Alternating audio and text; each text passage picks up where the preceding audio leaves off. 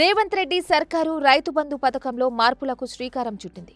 దీనిపై ఇప్పటికే కసరత్తు ప్రారంభించింది.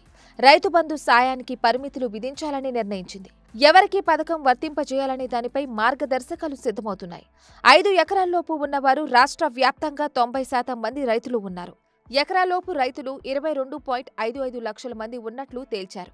ఈ యాసంగి సీజన్ వరకు గతంలో మాదిరిగానే రైతు బంధు పంపిణీ చేసి వచ్చే వానాకాలం ఖరీఫ్ సీజన్ నుంచి పది ఎకరాల పరిమితితో రైతు భరోసా పేరిట నగదు ఇచ్చేలా మార్గదర్శకాలు రూపొందిస్తున్నట్లు సమాచారం. పదికి మించి ఎన్ని ఎకరాలు ఉన్నా పది ఎకరాలకు మాత్రమే రైతు భరోసా ఇస్తారని తెలుస్తోంది.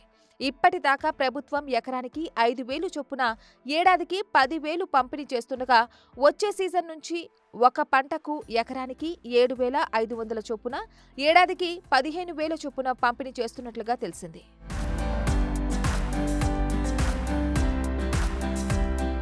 ప్రభుత్వం రైతు భరోసా పథకానికి పరిమితులు విధించిన లబ్ధిదారుల సంఖ్య ఏ మాత్రం తగ్గదని అధికారులు అంటున్నారు.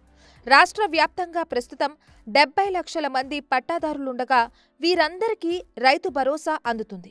రాష్ట్రంలో పది ఎకరాల నుంచి యాభై నాలుగు ఎకరాల వరకు భూమి ఉన్న రైతులు ఒకటి పాయింట్ ఒకటి ఐదు లక్షల మంది ఉన్నారు.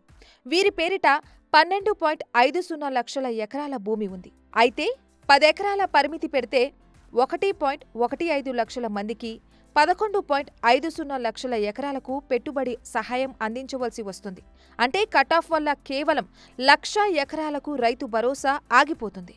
ఎకరానికి పదిహేను వేలు చొప్పున ఏడాదికి నూట యాభై కోట్లు తగ్గుతుందని అధికారులు లెక్కలు చెప్తున్నారు. కానీ పెట్టుబడి సహాయాన్ని పదివేల నుంచి పదిహేను వేల వరకు పెంచడంతో యాభై శాతం ఆర్థిక భారం పెరుగుతుంది.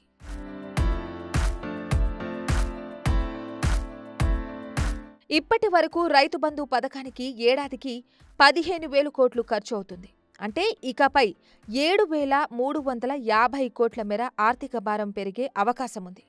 రైతు బంధు పథకాన్ని రెండు వేల పద్దెనిమిది సంవత్సరంలో కేసీఆర్ ప్రభుత్వం ప్రారంభించింది. తొలుత ఎకరానికి నాలుగు వేల చొప్పున ఏటా ఎనిమిది వేలు ఇచ్చారు. రెండు సీజన్లు గడిచిన తర్వాత ఆ మొత్తాన్ని ఐదు వేలకు పెంచి ఏడాదికి పదివేలు చొప్పున పంపిణీ చేస్తున్నారు. అయితే రైతు బంధు పంపిణీకి అప్పటి ప్రభుత్వం ఎలాంటి కటాఫ్ విధించలేదు. అయితే ఇప్పుడు రైతు భరోసా కింద అందించే సహాయాన్ని పదెకరాలకు పరిమితం చేయాలనే నిర్ణయానికి వచ్చినట్లు విశ్వసనీయ సమాచారం.